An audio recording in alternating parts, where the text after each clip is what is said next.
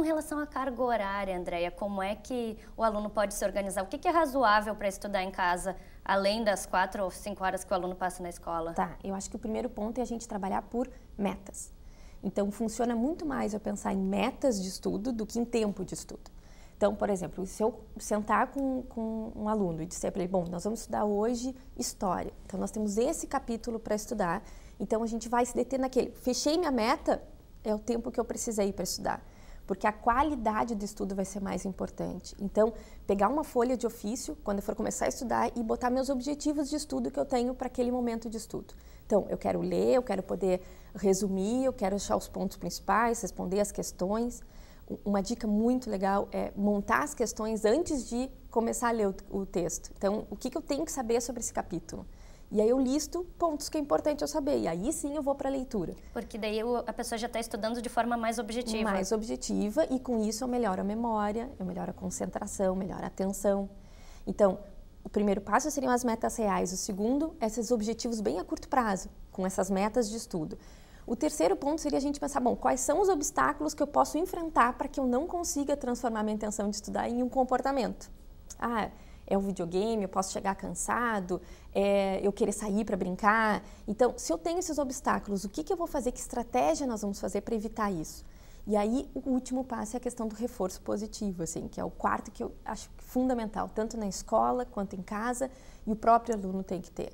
Nós precisamos reforçar o comportamento que a gente quer. O professor precisa pensar nisso na sala de aula. Ah, o aluno não fez todo o tema, ele fez só de cinco exercícios, ele fez três. Aí o professor olha e diz: Poxa, tu não fez o tema. Não, ó, tu fez três, que bom, então agora o próximo tu vai conseguir.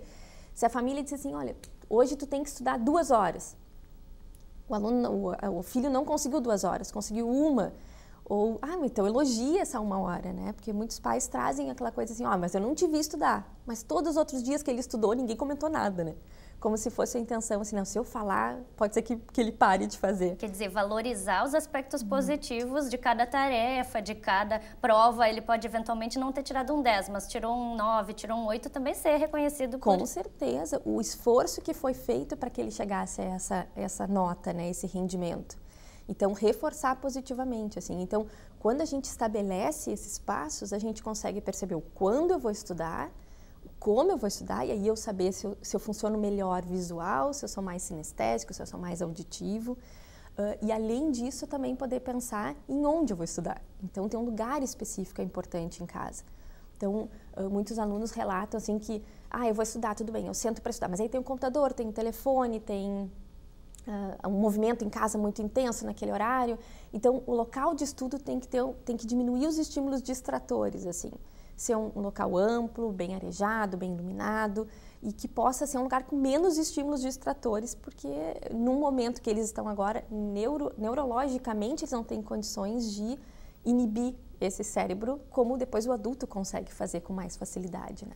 As crianças, inclusive os adolescentes, estão cada vez mais conectados. Muitas escolas já adotam aí tablets e estão sempre com computador, já em sala de aula e também em casa. Como uh, utilizar essas tecnologias e essas ferramentas de forma positiva, sem que esses também sejam uh, fatores que possam distrair e dispersar o aluno? existem várias estratégias que a gente utiliza, assim, principalmente o aluno que aprende de forma visual, assim. Então, o computador, por exemplo, os vídeos de aulas que eles podem acessar no YouTube, pesquisas que possam ser feitas. Geralmente, o aluno auditivo e visual se beneficia muito das videoaulas. Então, são sugestões que geralmente eu trabalho muito com os meus pacientes. Uh, as questões associadas a alunos que são mais sinestésicos para fazer, bom, eu posso ter o computador como ferramenta, posso usar o PowerPoint como criar esquemas, entrada de assuntos, montar apresentações de PowerPoint como resumo, uh, mas também é importante que eu possa escrever isso. Uh, como a maior parte dessa geração é muito sinestésica, o registro, não importa onde eu fizer, mas o fazer o registro é importante. Então, uh, sugestões, ah, o vidro da janela, que eu posso escrever com caneta de quadro branco, eu escrever no espelho do quarto, que adolescente gosta muito de espelho, então escrever com caneta de quadro branco, a gente colocar uma folha ampla, assim, uma cartolina, um papel cartaz, para que eles possam escrever, colocar exemplos, isso é outra dica que funciona bem assim para os visuais e sinestésicos. A matemática, que é uma disciplina que geralmente são disciplinas que eles se assustam mais para estudar. Uh, o que, que, é uma ideia legal? É poder botar um exemplo da operação matemática que tu tem que fazer numa, numa, folha e isso ficar com uma foto no teu quarto. Todo o exemplo da operação pronto. Então, então, quando for fazer exercício, tu tem ali um esquema para seguir. Isso facilita a memória, isso faz com que tu lembre mais facilmente das etapas.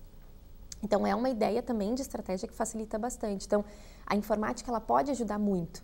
Ah, então a gente não tem que pensar que eles não podem usar o computador. Eh, sim, essa geração é uma geração que está ligada a esse instrumento, diferente das gerações passadas. Então a gente não pode excluir isso do estudo, mas usar a ferramenta de uma forma positiva. Com certeza, Andreia. Eu logo, logo quero continuar conversando contigo. O Cidadania agora vai fazer um breve intervalo e nós já voltamos.